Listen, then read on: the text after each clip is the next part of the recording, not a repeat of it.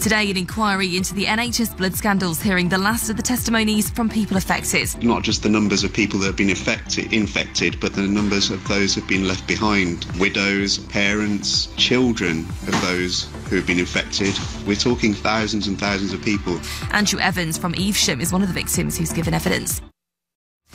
The lead in an infected blood inquiry who's from Coventry has told Hearts one victim dies every four days. While all of this goes on, the victims, the families, campaigners are still pressing the government to establish a compensation panel.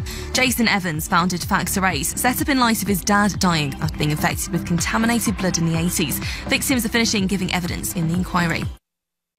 Today, an inquiry into the NHS blood scandals hearing the last of the testimonies from people affected. Not just the numbers of people that have been affected, infected, but the numbers of those who have been left behind. Widows, parents, children of those who have been infected. We're talking thousands and thousands of people.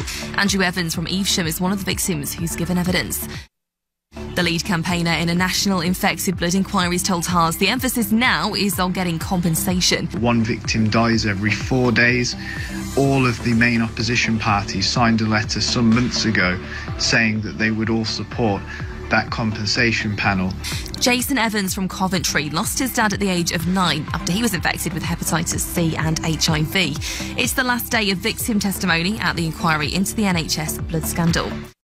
Today, an inquiry into the NHS blood scandals hearing the last of the testimonies from people affected. Not just the numbers of people that have been infected, but the numbers of those who have been left behind. Widows, parents, children of those who have been infected. We're talking thousands and thousands of people. Andrew Evans from Evesham is one of the victims who's given evidence. It's the last day of victim testimony at an inquiry into the NHS blood scandal today.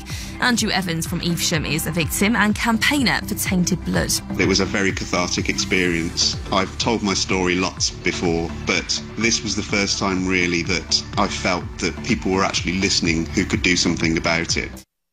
It's the last day of victim testimony at an inquiry into the NHS blood scandal today. Andrew Evans from Evesham is a victim and campaigner for Tainted Blood. It was a very cathartic experience. I've told my story lots before, but this was the first time really that I felt that people were actually listening who could do something about it.